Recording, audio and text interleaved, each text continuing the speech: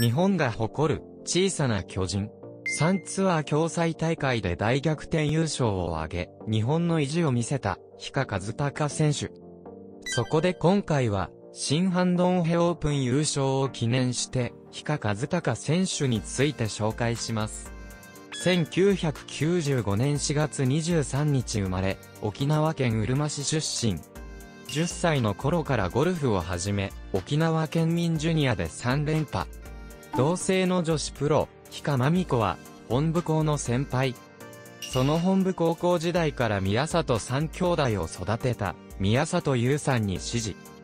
本部高校在学時の2012年、日本アマチュアゴルフ選手権競技決勝で、小袋秀人に2ダウンで敗れ準優勝。2013年、全国高等学校ゴルフ選手権、大会春季大会で、前年2位の雪辱を果たす優勝。念願の全国初タイトルを手にした。身長158センチメートルと小柄ながらも、昨年の日本アマでも2位と活躍するなど、ここ1、2年の成長には目を見張るものがある。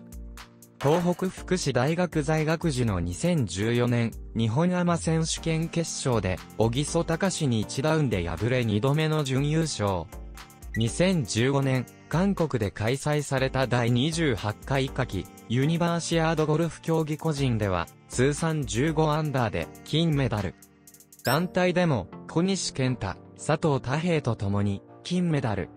2016年、日本アマ選手権では、通算6アンダーで並んだ、亀城淳也にプレーオフで敗れ3度目の準優勝。プレーオフにホール目でバーディーを奪った、亀城淳也が、アマチュア日本一の栄冠を初めて手にした。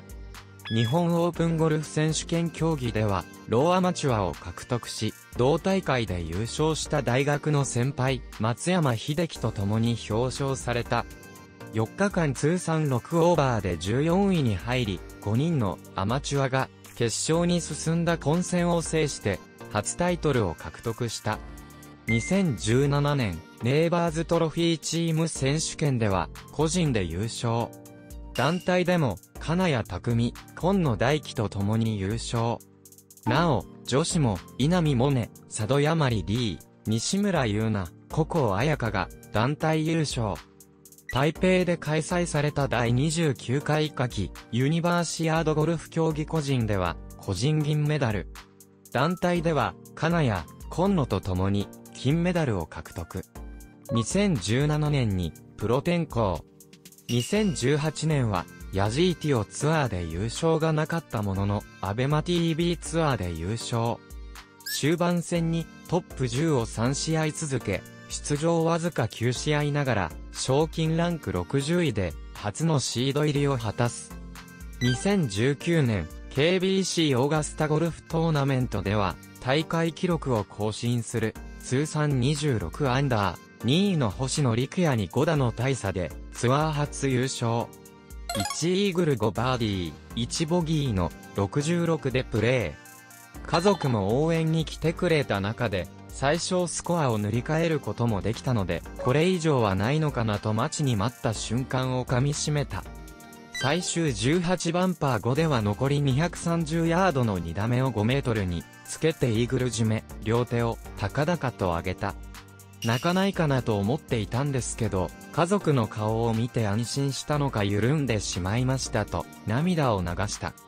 アマチュア時代から2位が多くて、途中リードしていても、最後の方で抜かれたあり。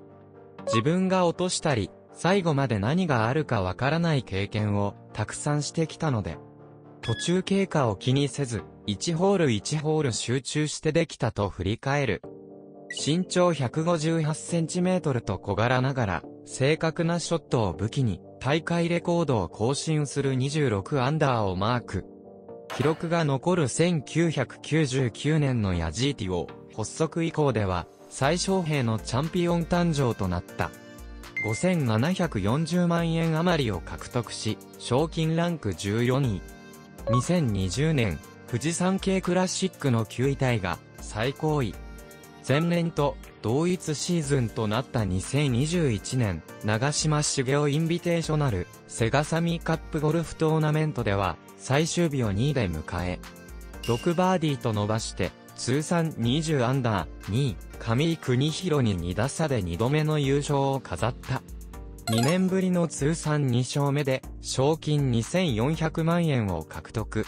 2022年4月の関西オープンに続き、6月の BMW 日本ゴルフツアー選手権森ビルカップでは、首位と3打差の3位で最終日を迎え、2イーグル、2バーディー、2ボギーの67で回り、通算12アンダーとして逆転で国内メジャー初勝利を遂げた。4月、関西オープンに続く今季2勝目で、ツアー通算4勝目。最終日は序盤にラッキーが2度あった。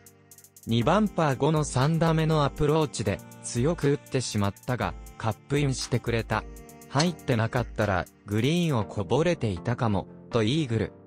さらに続く3番パー3では、ティショットが地面に着弾すると水しぶきが上がり、池に入ったかに思われたが、ボールは跳ねて、グリーンの脇に。このホールもパーで切り抜けました。この2ホールのラッキーがなかったら、早々に優勝争いから脱落していたと思いますと振り返る。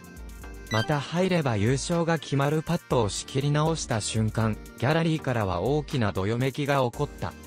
全身が震えていて、球に当たらないと思って仕切り直しましたと話した、氷川和孝選手。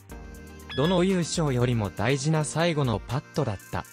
あの状況で決められたのは、今後の自信になります。